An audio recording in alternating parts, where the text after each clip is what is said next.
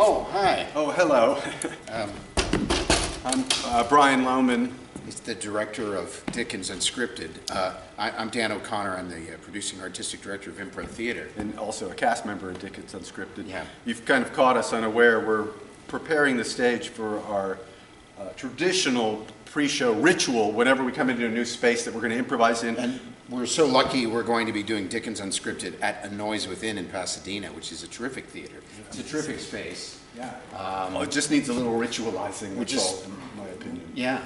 Yeah, just to help us figure out exactly what we're going to do because we never know what we're going to do. So if you have an idea of some sort of ritual that we should perform, please, uh, you know, email us at info@improtheater.com or, and we'll just be here yeah, we'll be waiting until you email us. October 18th. October 18th at 7:30. performing. Yeah. Until then, it's, we're just taking turns. Yeah, um, we're just, we're Just say here. some things. and- Yeah, it's not a, it's not a real candle, it's just a battery.